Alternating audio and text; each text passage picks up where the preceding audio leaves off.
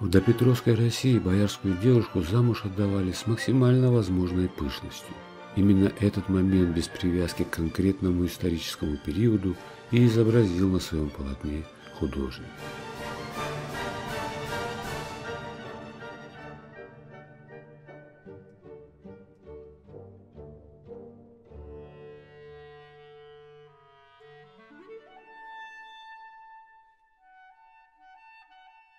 Перед зрителем предстает богато украшенная палата деревянного терема, полная пышно и нарядно одетых и украшенных женщин.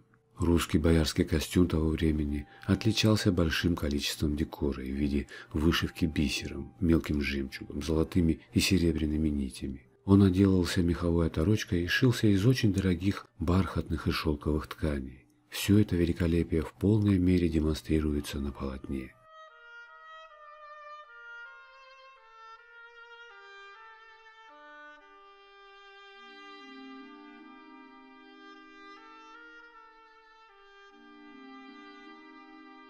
Главным персонажем картины является невеста. Ей полагалось плакать, так как в свою семью она больше никогда не вернется. Жениха своего она чаще всего даже не знала, потому что брак устраивали родители. На картине запечатлен обряд, когда девушки делают прическу взрослой замужней женщины. Ее одна коса распускалась, расчесывалась и заплеталась по-новому. Жена носила две косы, обернутые вокруг головы и обязательно закрытые платком или головным убором. Именно эта ключевая сцена и изображена на полотне.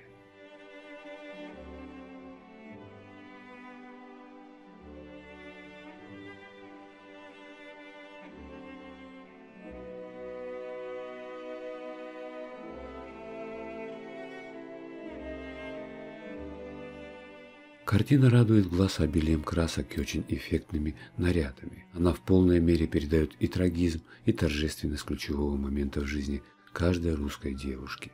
При обилии красок и множестве мелких деталей полотно не выглядит излишне пестрым. В нем есть глубина, объем, грамотное построение композиции и удивительная духовность. Особенно ярко это выражено в фигуре подруги, прильнувшей к коленям опечаленной невесты.